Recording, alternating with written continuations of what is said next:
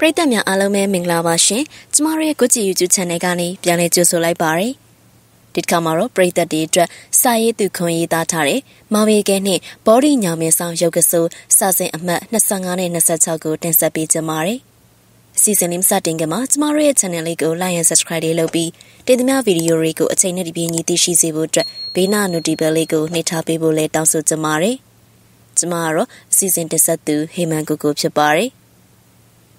ရုပ်ကဆုဘုံမဆုအာဂတဆုနဲ့ဆိုတာကဖះဟော့ဆက်တော်ကနေလာတဲ့နတ်တွေဖြစ်ပါတယ်။တစ်ပင်ကိုအမိပြုပြီးတော့တည်နေတဲ့နတ်ကရုပ်ကဆုနဲ့မြေမာတည်ပြီးတော့ဖြစ်တဲ့နတ်ကဘုံမဆုကောင်းကင်မှာတည်တော်နတ်တို့ကအာဂတဆုနတ်များဖြစ်ပါတယ်။နတ်ဟူတဲ့ဖြစ်တည်မှုအရာသူ့ရဲ့ကုသိုလ်ကံနဲ့သူအစွမ်းစာတွေရှိပါတယ်။ဘုံမှာဘိုရထမြေကိုအမိပြုပြီးတော့ဗိမာန်ပြုပြီးတော့နေတဲ့နတ်ရုတ်ခရုတ်ခထတစ်ပင်တစ်တော်ကိုအမိပြုပြီးတော့ဗိမာန်ပြုပြီးနေတော့နတ် အာကာသအာကာသထကောင်းငင်တခွင်ကိုအမိပြုပြီးနေသောနတ်အစရှိပြီးတော့အမျိုးမျိုးကွဲပြားကြပါတယ်။ရုပ်ကဆိုးနတ်ကတော့တစ်ပင်မှာတည်သောနတ်ဖြစ်ရာဟိမဝန္နာတော်တွင်မှရှိတဲ့တက်တန်းရင်ဘောရိညာမင်းကြီး၌ပုံပဲမှန်ပြုပြီးတော့နေပါတယ်။ထိုရုပ်ကဆိုးကရှေးဘဝကုသိုလ်ကံကြောင့်နတ်တကူများအလွန်ကြီးထွားတဲ့သူဖြစ်ပါတယ်။အရေးအဝတာကောင်းတဲ့ဘောရိညာမင်းကြီးရဲ့အောက်ကိုလာလာနာသမျှလူပုဂ္ဂိုလ်များကိုဖန်ဆတတ်ပါတယ်။ ဟိမဝနအနီးပါဝင်ကျမှာရှိတဲ့တိဘက်လူမျိုးနီပေါလူမျိုးများနဲ့အိန္ဒိယလူမျိုးတို့ကဟိမဝနတော်ကြီးကိုအမိပြုပြီးအသက်မွေးဝမ်းကြောင်းပြုကြပါတယ်။တော်ရဲမှာရှိတဲ့စိတ်ဘက်ဝင်အပင်များတရိษံတို့ရဲ့အသားအရှိအဆွဲများကိုရှာဖွေပြီးရောင်းချကြပါတယ်။စိတ်ဘက်ဝင်တဲ့အပင်များဈေးရသောရာသီမှာတိဘက်လူမျိုးတစုကမွန်နီအာရာနဲ့စန်ခါရီ၃ယောက်တို့ကတောင်ပလိုက်ကိုစီနဲ့ဓာကိုစီရှုပြီးတော့ဟိမဝနတော်ရဲကိုဝင်လာခဲ့ကြပါတယ်။ စိတ်မြစ်စိတ်ဥများသာရှာရန်အတွက်တန်ဋိဌံပြုခဲ့တာကြောင့်မိသည့်တော်ကောင်ကိုမှရံမပြူကြပါဘူး။တော်နဲ့အတွင်းမှာအမျိုးမျိုးသောတော်ရင်တရိษံတို့ကလူတို့အန်ရမပြူမှန်းသိသောစိတ်လွတ်ကိုလို့မြူးထုပြောပါကြပါရယ်။မွန်နီတို့တောင်ရကလည်းစေဝါပင်တွေကိုအလုံးလိုက်ရရှိပြီးဖြစ်တာကြောင့်ထမင်းစားနိုင်ရန်အတွက်နေရာကောင်းတစ်ခုကိုရှာဖွေကြရမယ်။ချောင်းဆက်မှာရှိတဲ့ဘော်ရီညာမင်းကြီးကိုတွေ့ပါရယ်။အဲ့ညာမင်းကြီးကအရေးအာဝတအားကောင်းပြီးတော့ညောင်မင်းညောင်ကိုင်းအခက်လက်များဝေစားပါရယ်။ ညောင်သီးများကလည်းလှိုင်နေအောင်တီးလျာမှာညောင်မင်းမှဲ့ကလေးများကိုလာရောက်ပြီးတော့စားတော့ကြတဲ့ကျင်းငါတာရကာတို့ရဲ့အတန်များကလည်းကျွတ်စီညံလျက်ရှိပါတယ်။ချောက်ရည်စီးတဲ့နဲ့ကျင်းငါတာရကာတို့ရဲ့အတန်ကလည်းပနံတက်လာပါတယ်။ဒါကြောင့်မိုနီတို့တောင်ယောက်ကညောင်မင်းကြီးရဲ့အောက်မှာအနာယူရန်ဆုံးဖြတ်လိုက်ကြပါတယ်။ပါလာတဲ့ထမင်းတို့တွေကိုဖြီးပြီးတော့စားကြပါတယ်။စားပြီးတဲ့အခါမှာမိုနီကထမင်းထုတ်သောဖက်ရွက်ကိုညောင်မင်းဘော်ကိုပြစ်တင်လိုက်ပါတယ်။ ဒီချင်းအောင်မြင်တဲ့အခါမှာအာရာနဲ့စန်ခါရီတို့ကထိတ်လန့်တဲ့အမူအရာနဲ့ဟာမွန်နီမင်းဘာလုပ်လိုက်တာလဲတော်ရဲဆိုရင်ဒီလိုမလေးမစားလုံးလို့မရဘူးလေကွာဟာအကြောက်တယ်တော်ရဲမှာဘာရှိလို့ကြောက်နေရမှာလဲကြည့်ဟောရိညာမင်းကြီးကိုထမင်းထုတ်တဲ့ဖိုက်ရွက်တင်မိလိုက်တော့မြေဩဇာတော်မရှာသေးရဲ့ပြောလေစိုးလေပါလားမွန်နီယာဒီလိုတစ်ပင်ကြီးတွေမှာအဆောင်နေရှိရဲ့ကွာဒီလိုညတိညက်ပတ်တွေလုံနေတစ်ပင်ဆောင်တွေကမင်းဖမ်းစားလိုက်လိမ့်မယ်ကွာ မင်းတို့ကလည်းဘာမှမဟုတ်တာကြောက်နေကြပြန်ပြီဒီမှာကြည့်ဆိုကအနောက်လေပြီးတော့ညောင်မင်းကြီးရဲ့ချီရင်ကိုရှုလှဲ့ပန်းပါတယ်ဟာမွန်းနေမလောက်ပါနဲ့ဟာမွန်းနေတငယ်ချင်းညောင်လဲတားချင်တော့မရလိုက်ပါဘူးဟာဟာဟာတွေ့လားဘာနမ်းမှမရှိပါဘူးဆိုနေမင်းတို့အလကားနဲ့အလကားကြောက်နေကြတာမွန်နီမှာသူ့ရဲ့လောက်ရပေါ်မှာအားရကျင်တဲ့လျက်ရှိပါတယ်အာရာနဲ့စန်ခါရာနှစ်ယောက်တို့ကတော့ညောင်မင်းကြီးကိုမော်ကြီးကလက်အုပ်ချီတောင်းပန်နေကြပါတယ် ဒီချိန်မှာဘေးပဝန်းကျင်မှာလေပြင်းများတိုက်ခတ်လာပြီးမိုးတခွင်လုံးကောင်းကင်မှာမဲတူလာပါတယ်ငမိုက်သားတွေငါနေတဲ့တစ်ပင်အောင်မှာညက်ပက်တဲ့အရာတွေကိုလှုပ်တယ်တင်တို့အပြစ်တင်တို့ခံစမ်းဘယ်ဟာလာမှမသိတဲ့အတန်အော်ကြီးကိုကြားလိုက်ရပြီးတဲ့နောက်သုံးယောက်စလုံးတယောက်မျက်နှာတယောက်ကြီးကစက်သေးသေးကုန်ကြပါတယ်တစ်ဆက်တည်းမှာပဲမွန်နီမှာမျက်ဖြူလန်းသွားပြီးခြေလက်များအကျော်ကတ်ကုန်ပါတယ် တငယ်ချင်းညောင်မှလည်းမွန်နီကိုဆွဲထူမှပြီးခြေမချိုးပေးပေမဲ့လည်းအချင်းကြီးထူးမလာပဲနဲ့မွန်နီကိုတဲမကတော်ရဲကနေအမြန်ထွက်လာခဲ့ရပါတယ်။အနောက်ကိုပြန်လှည့်ကြည့်လိုက်တဲ့အခါမှာညောင်မင်းကြီးတပင်လုံးလှုပ်ခါရန်နေရကိုတွေ့ရပါတယ်။သူတို့လည်းမွန်နီရဲ့အဖြစ်ကိုထိတ်လန့်သွားပြီးစိတ်မြင့်များထည့်ထားတဲ့ပလိုင်းများကိုပင်မကောက်အားပဲတော်ရဲကနေပြန်ထွက်လာခဲ့ကြပါတယ်။အိမ်ရောက်ပြီးတော့လေမွန်နီကအရင်ကနဲ့မတူပဲငိုင်းတိုင်တိုင်ဖြစ်နေပြီးမီးမရမြန်မရဖြစ်နေပါတယ်။နက်ဆရာများဖြင့်ပြတော့လဲထူးမလာပဲအချင်းဒီမှာပို့ပြီးတော့ဆူလာပါတယ်။ မွန်နီကမိမိရဲ့အိယခင်ကိုဖဲပြီးအိယခင်အစားငရုတ်သီးတောင်များကိုခင်းပြီးတော့အိပ်ပါတယ်။တခါတခါမှနှက်ဝင်တယ်လို့ဖြစ်ပြီးတုံကြီးကလက်ကြောများကတ်ကုန်ပါတယ်။မွန်နီရဲ့မိဘတွေကလည်းတားဖြစ်သူအတွက်စိုးရင်ကြရမှာရွာထဲမှာရှိတဲ့နက်ဆရာတက်ကိုခေါ်ပြီးတော့ကုသပေးပါတယ်။နက်ဆရာကလည်းမိမိရဲ့ရိုးရာနဲ့တွေနဲ့ကုသပေးပါတယ်။ဒီဒီတငယ်တော်ရဲမှာအမှားလုံးပြီလို့နတ်တွေအပြစ်ပေးတာဒီတော့နတ်တွေအမျက်ကြီးအောင်ရစ်ပူစော်ပေးရမယ် နတ်ဆရာလှုပ်တတ်တယ်လို့သာလှုပ်ပေးပါနတ်ဆရာရဲ့ကျုပ်သားနေပြန်ကောင်းမှုအတွက်လိုအပ်တာအကုန်လုံးလှုပ်ပေးပါမယ်အေးဒါဆိုလို့ရှိရင်နတ်တွေအမျက်ပြေဖို့အတွက်နွားနောက်တကောင်ကိုရစ်ပူစော်ပြီးတော့တောင်းပန်မယ်နွားနောက်တကောင်ကောင်းကောင်းလေးရှာခဲ့ပါဟုတ်ဟုတ်ဟုတ်နတ်ဆရာမွန်နီရဲ့ဖခင်ဖြစ်သူကလည်းနတ်ဆရာရဲ့အမိန်အတိုင်းနနောက်ကိုလိုက်ရှာဝဲရမှာခဏကြာမှတော့ဝါဖီးနေတဲ့နနောက်တကောင်ကိုနှစ်ဖားကျိုးဆွဲလာခဲ့ပါတယ် မွန်နီရဲ့အိမ်ဝန်းထဲမှာတော့ရွာသူရွာသားတွေနဲ့ပြည့်နှက်နေပြီးနတ်ဆရာဘယ်လိုမျိုးလုပ်မယ်ဆိုတာကိုစိတ်ဝင်စားနေစောင့်မျှော်နေကြပါတယ်နနောက်တကောင်ရတဲ့ခါမှာနတ်ဆရာကအဲ့ဒီနနောက်ကိုအမွှေးနှစ်သားရည်နဲ့ပတ်ဖြန်းပြီးပန်းကုန်းစွတ်ခါမွန်နီကိုဖန်ဆားထားတဲ့နတ်ဒီဝရာကိုအမျက်ကြည်အေးပေးဖို့အတွက်တောင်းပန်ပါတယ်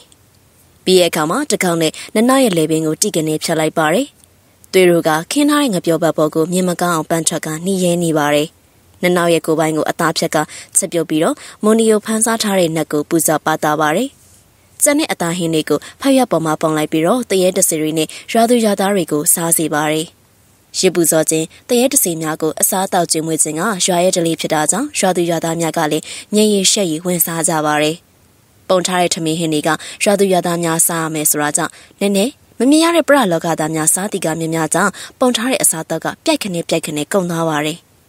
ကြန့်ရှိနေတဲ့နှွားကောင်းကိုတော့နတ်ဆရာဆောက်ခိုင်းထားတဲ့စင်မြက်ထက်ကိုတင်းကမူနီကိုအဲ့ဒီစင်မြက်ရဲ့ရှေ့မှာထိုင်ဆင်းပြီးတော့နတ်ဆရာကကူတာပေးပါတယ်။မူနီကိုဖန်ဆားထားတဲ့နတ်ဒေဝရာအပေါင်းတို့ကျွန်ုပ်နတ်ဆရာအာဆန်ကအတင်တို့အားအစားတောက်များဖြင့်ကျွေးမွေးပါတယ်။အပြန်လှန်အားဖြင့်တင်းတို့လည်းဤတငယ်မွန်နီအားဖန်ဆားထားခြင်းမှာပြန်လည်ရုပ်သိမ်းစီလိုပါတယ်။ဤတငယ်မွန်နီပေါ်မှာထားရှိတဲ့အမျက်များအားကြည်အေးပေးပါ။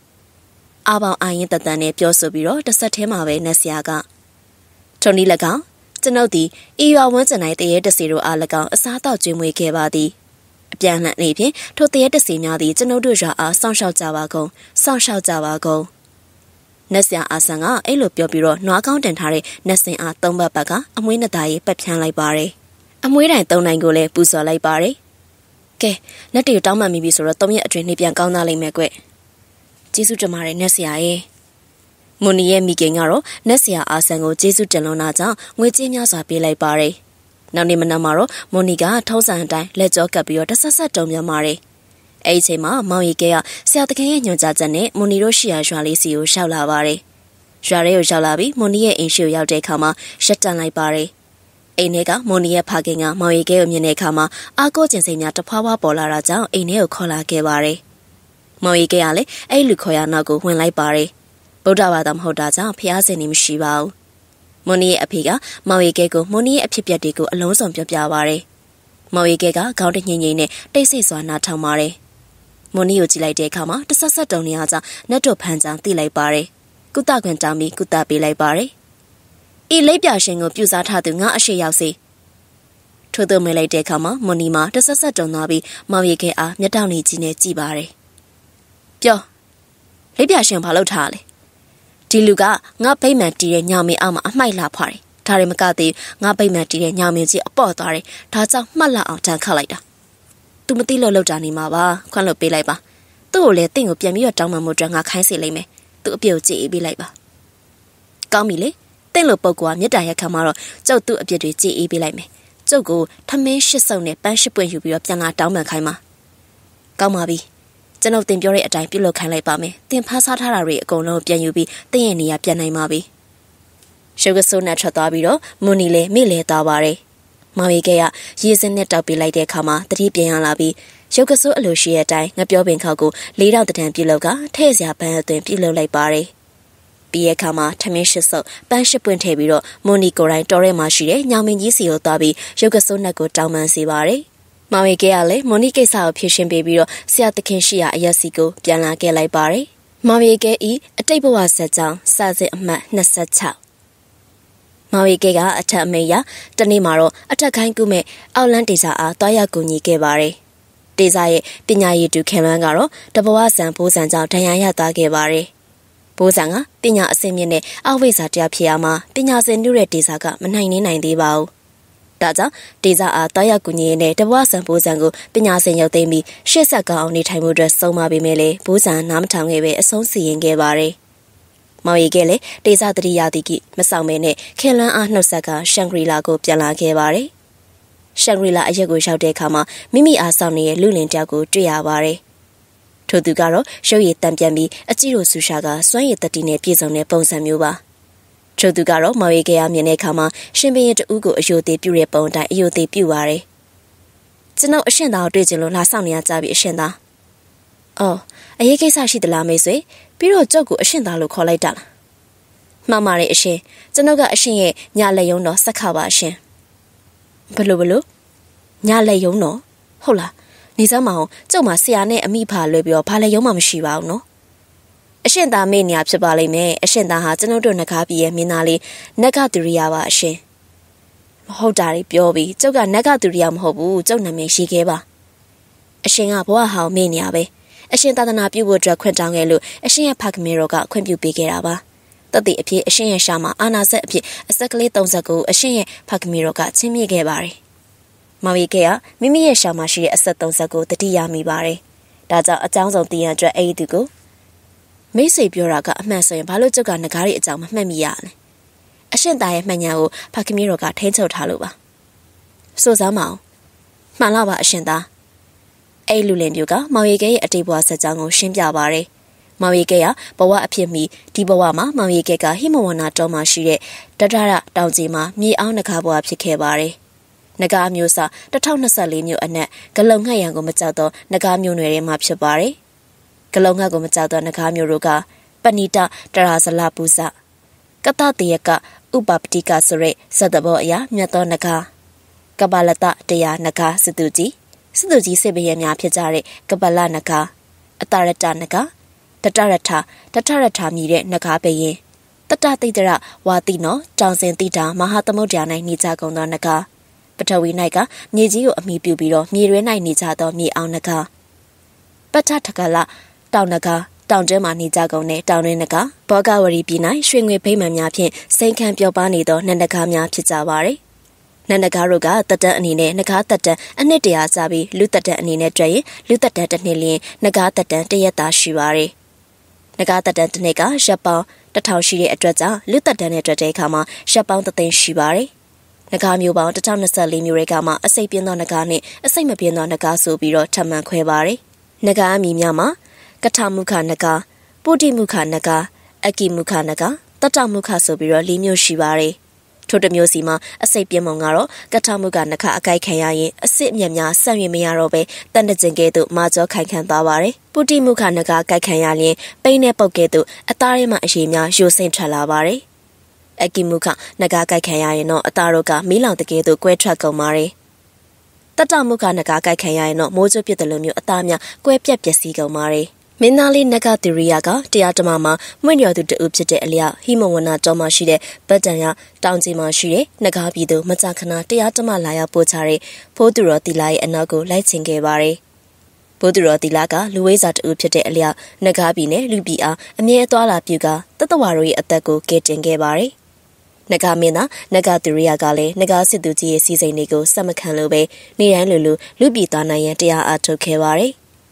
ဟိမဝနာတော်ရဲမှာကျင့်စဉ်ကျင့်ကြံနေတဲ့ဘိုးသူတော်ဦးတီလာထံအမြဲလိုလိုလာရောက်ကပညာသင်ပေးရန်အတွက်တောင်းပန်ပါတယ်။သို့တော့ဘိုးသူတော်ကတော့မင်းသားလေးကလူစီနဲ့ညီညွတ်တဲ့လူသားဖြစ်မှသာလျှင်ပညာများသင်နိုင်ကြောင်းတတဝရီအသက်ကိုကဲတင်နိုင်ကြောင်းရှင်းပြပါတယ်။မင်းသားလေးကလည်းလူပြည်ကိုသွားခြင်းကြောင့်ဖခမီရောကိုအခမလက်ပူစားပါတယ်။မရတဲ့အစုံအစာရေးစာအငတ်ခံကဆန္ဒပြပါတယ်။လက်ရင်လက်တလူလက်ယုံတော်ဆက်ကကိုခေါ်ကဘိုးသူတော်တီလာရှိရာဟိမဝနာတော်စီကိုသွားပါတယ်။ နဂါစစ်သူကြီးကလည်းတားတော်နဂါသူရိယအားအလွန်ချစ်သည်ဖြစ်ရာတားတော်နဂါမင်းသားလေးအစားအသောက်မိဝဲခြင်းမရှိသည်ကိုမြင်တွေ့ပြီးစိတ်မချမ်းမသာဖြစ်ပါရယ်လူပြိုသားရန်အတွက်ခွင့်မပြုခြင်းပေမဲ့လည်းတားငယ်အဖြစ်ကိုမကြည့်ရတာကြောင့်သူကိုယ်တိုင်တားငယ်လက်ကိုဆွဲကဟိမဝနာမှာရှိတဲ့ဘိုးသူတော်တီလာထံမှာလူပြိုသားရန်ခွင့်ပြုခဲ့ပါရယ်တာငယ်လေးအားလူသားတို့ကိုတတ်နိုင်သမျှကူညီရန်ဆုံးမပြီးတော့ရှာဘော်ကိုအာနာဇတ်သုံးဆက်ကိုချပေးခဲ့ပြီးပရလောကောင်မျက်နှာဆွဲရှိတဲ့တတိယမျက်လုံးအမြင်ဖွင့်ပေးခဲ့ပါတယ်။ အဲ့ဒီအချိန်မှစပြီးတော့နဂါမင်းသားလေးနဂါသူရိယာကဘိုးသူတော်တီလာရဲ့အကူအညီနဲ့တာလုံးရွာမှာရှိတဲ့ဦးမြတင်နဲ့ဒေါ်အေးမီတို့ထံမှလေပြန်ဝင်စားခဲ့ပါတယ်။ငယ်စဉ်ကဘိုးသူတော်ဦးတီလာနဲ့ဆရာတော်ဦးမေဒါဝီထံအထက်လန်းပညာကိုသင်ယူခဲ့ပါတယ်။ယခုခါမှာတော့ဘိုးတော်ဖြူတန်ဆက်လက်ပြီးတော့ပညာသင်ယူရမှာအတော်တန်ပေါက်ရောက်နေပြီဖြစ်ပါတယ်။ နဂသူရိယရဲ့ညာလက်ယုံတော်ကမောင်ရီကဲရဲ့နဂဘွားအကြောင်းကိုရှေ့လျားစွာရှင်းပြပြီးတော့မိမိလည်းလူရောင်ဖန်ဆင်းကမင်းသားရဲ့ထံပါမှာနေပြီးလူများအကူအညီလိုကြောင်းအခွင့်ပန်ပါတယ်ဖြစ်ပါမလားဆက်ကလူလောကရှုပ်ထွေးရင်တော့နဂါးပြည်မှာလိုမျိုးအစွမ်းနေရသုံးချင်နိုင်တယ်သုံးလို့မရဘူးရွှေငွေကြောက်တံပရံများတွေထဲမှာနေရမှာမဟုတ်ဘူးလောကရန်ရဲ့ရိုက်ချက်တွေခံနိုင်မှဖြစ်မှာဖြစ်နိုင်ပါတယ်အရှင်သားအရှင်သားတော်မှာလူသားအဖြစ်နဲ့နေနိုင်သေးတာပဲကျွန်ုပ်လည်းနေနိုင်ပါတယ် လူပြည်ကိုဒီတိုင်းလူအောင်ဖန်ဆင်းပြီးသွားရင်တော့အမြဲတမ်းလူအဖြစ်နဲ့ဖန်ဆင်းပြီးတော့နေနိုင်သလားအမြဲတမ်းတော့မနေနိုင်ပါဘူးအရှင်သားနဂါမျိုးတွေဟာကိုဝန်ဆောင်တဲ့အချိန်နဂါချင်းချင်းမိထုံမိဝဲတဲ့အချိန်အရှိဟောင်းလဲတဲ့အချိန်ကိုလွတ်လပ်လို့အိပ်ပျော်နေတဲ့အချိန်တေလွန်တဲ့အချိန်ရောက်ရင်တော့မူလနဂါရဲ့ပုံကပြန်ပြီးတော့ပေါ်ပါတဲ့အရှင်သားอืมဒါဆိုရင်တော့အဆင်ပြေမှာမဟုတ်ဘူး။တင်စိတ်လွတ်ကိုလို့အိပ်ပျော်နေတဲ့အချိန်တွေဆိုရင်ငကားအသွင်ပြောင်းပြီးတော့လူတွေကိုထိတ်လန့်စေလိမ့်မယ်။ ဒါကြောင့်တင်ဟာလူတွေကိုကူညီခြင်းနဲ့ဆိုရင်တော့ငကားဘွားကိုဆွန်ပြီးလူသားမိခင်ရဲ့ဝမ်းပိုက်မှာပြိတ္တိတဲပါအတင်လုံနိုင်ရဲ့လား။လုံနိုင်ပါတယ်အရှင်သား။ကောင်းပါပြီ။ဒါဆိုရင်ဒီနေ့ပဲလူသားမိခင်ထံမှာပြိတ္တိယူပါ။တည့်ရဲ့အသက်ဆက်ရှင်နေပြင်ကျွန်ုပ်လာခေါ်ပါမယ်။